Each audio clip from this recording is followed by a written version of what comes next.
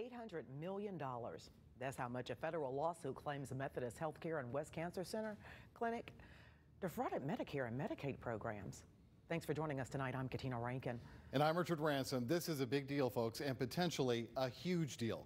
We're talking about kickbacks given to the doctors of cancer patients.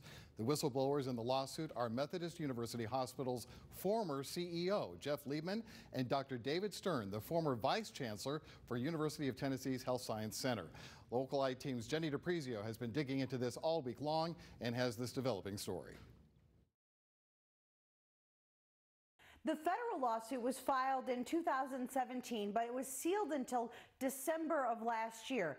Advocates say it's a situation of physician greed over patient need if the allegations prove to be true. This is a massive case. This is a massive case. Jeb White is the head of Taxpayers Against Fraud. He's concerned about the allegations made in this lawsuit. Among the lawsuit's claims from 2012 to 2018, West Cancer and Methodist knowingly defrauded federal and state health care programs. According to the lawsuit, Methodist paid West physicians kickbacks over $400 million.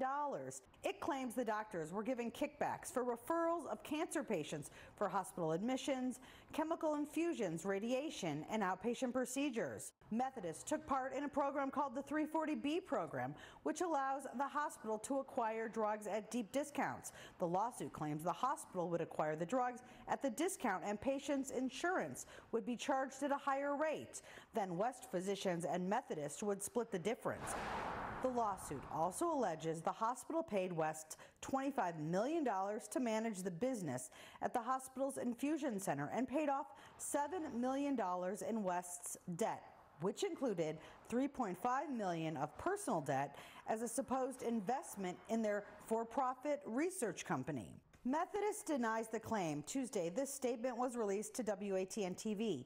It says in part, Methodist Le Bonheur Healthcare upholds the highest standards and complies with all legal and regulatory requirements. Our professional agreements with the West Clinic and its physicians provided needed medical services for cancer patients. Our payments for the services provided were appropriate.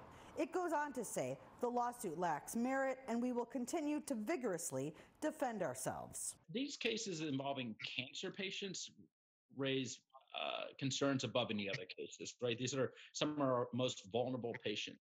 And the fact that, you know, the allegations involve patients potentially uh, not receiving the care that they should have because a provider is making a decision based on their own profits as opposed to patient need raises a lot of red flags for us. I called and emailed West Clinic and its lawyers several times yesterday and today. So far, no comment from either. Coming up tonight at 6 o'clock, find out why the case was sealed and why the feds could intervene. Jenny DiPrizio, Local 24 News.